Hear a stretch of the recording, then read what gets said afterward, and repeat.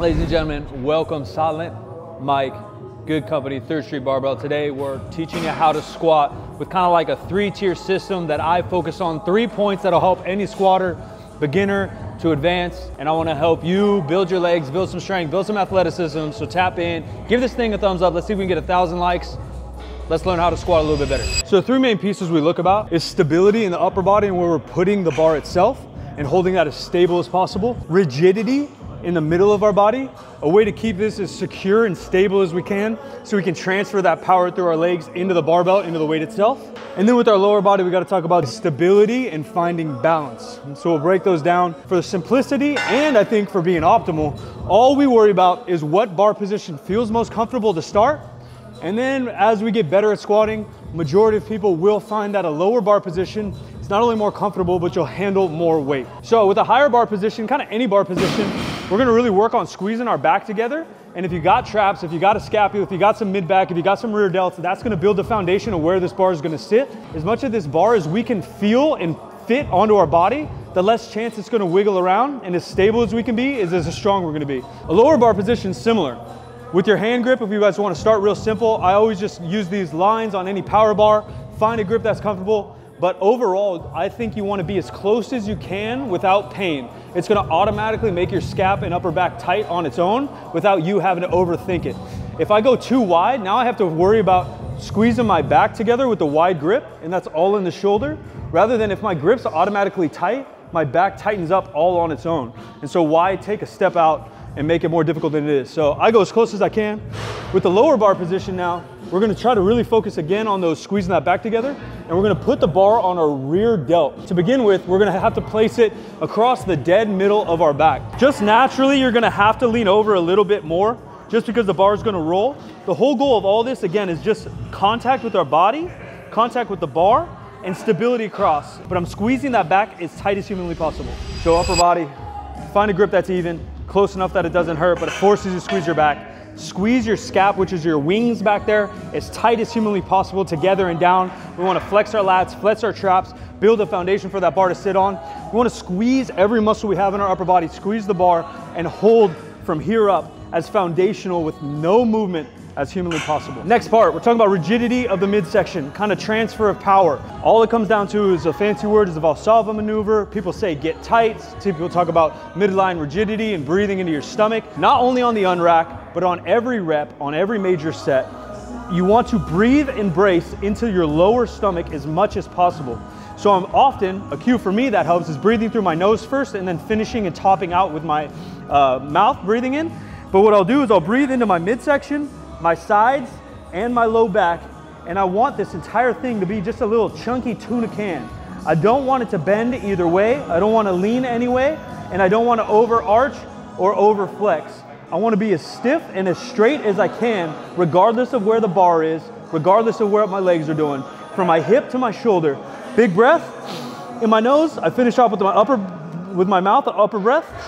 And I'm squeezing and flexing through the entire rep as stiff as we can here, a strong, confident unrack is gonna allow you to be a more successful squatter rep after rep. So the basics are stance width matters, but it's gonna be slightly individual. So what we'll start with is a blanket statement. Have your stance slightly wider than shoulder width.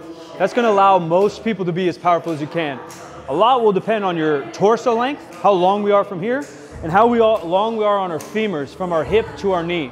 The longer the femur, it might get a little bit more difficult to squat to depth, depth in both training and the sport of powerlifting is this hip crease has to be below the top of my knee at the bottom of the hole. Even for the regular gym goer, someone trying to get strong, that range of motion is really, really solid cue so we can have a standard of which we exercise and execute every single rep, every single week. What we'll do, for most people, again, slightly shoulder than hip width, slightly uh, wider than shoulder width, and then maybe depending on uh, leverages, we will have to wiggle that out or in when we are making changes to our squat, let's go inch by inch and week by week. We don't want to make drastic changes. It's just going to make it more difficult to learn and also more difficult to execute and get a good workout. So small changes over time to find what fits best, but a little bit wider in shoulder width, and then typically just a very small, narrow angle out of our knees. Depending on how you're built again, the longer femurs, you might have to go wider stance, a little bit more angled out. Shorter femurs, you might be able to bring in stance a little bit and toes a little bit more straight.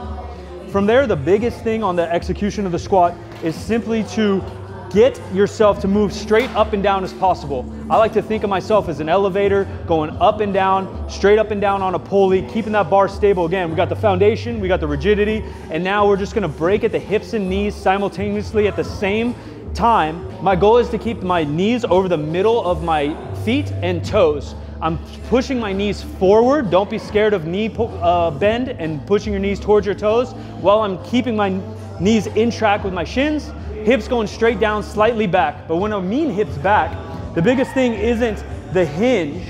I'm not moving my torso because we need that tuna can, we need that rigidity. What I mean by hips back is actually this angle. So we'll be squatting like that. It's a hinge, not a twist. So big breath, you walk them out, stand solid. I'm gonna break at the knees and hips simultaneously at the exact same time. You see at the bottom position, my knees are just over the middle of my foot, aiming towards my toes. Hips are just below the top of my knee. Under control, stand straight up. Ultimate goal with all of these three parts putting together is keep this bar down the middle of my foot the entire time. That's where we're gonna be strongest. If we set ourselves up to do the same things, control the variables that we can, we're more likely to have a system to allow us to success. We do the same thing, same thing, then we execute the squat the same way. Walkout, rack height, all matter. Um, I like to get the rack height to a certain height. Maybe I get two or three inches of clearance once I unrack the bar. And that's gonna be based on a two-step walkout. Basically what I like to do is I like to unrack the bar with even foot stance, very close, maybe just a hair in from where I'm squatting. A lot of people uh, unrack too wide, or the unrack too narrow, and now you have to take multiple steps and you're stuttering all the way there. You wanna be as stable as you can while controlling energy and the stability of the bar as weights get heavier. So I'll unrack with basically hip width, big breath, unrack, and I simply take two steps back slightly out to get into my stance. You don't have to overthink it, and now I'm ready to squat. You can do a couple wiggles, make sure you're in the right place, your right angles, but the goal is unrack, step, slide, step, slide. We don't have to take big monster steps. There's no speed bumps in the way, just enough to move your foot. My foot stays in contact with the ground. Again, stability is king here. One of the most common questions I've had over a decade on the business, what shoes do you wear? Most commonly for beginners, I would say just train in anything flat. That could be a Converse, that could be a Vans, I don't care. Don't break the bank. Just wear something flat and stable with a very low insole. I'm wearing something called a squat shoe or a weightlifting shoe. It has an elevated heel. For many people, especially beginners, this may throw you out of position and push you too far forward. As you get more advanced or more stable and controlled in your squat, it does allow you to hit depth slightly easier. It elevates the backside, which puts more, uh, uh, allows us to flex our knees forward slightly more and get our hips to depth slightly more efficiently. Ladies and gentlemen, Silent Mike, new videos once a week, shorts every day. Check it out. Be sure to subscribe, show some love. 3sb.co for all your clothing needs. This tee drops in a week, so stay tuned. Join our Discord, goodcompany.discord.com. I appreciate you guys so much hanging out. Comment below what you want to see in upcoming videos. How can I help you in your fitness journey, your life journey, your business journey? Let's get after it. We over me. Be a part of something big in yourself. Silent Mike, I'm out.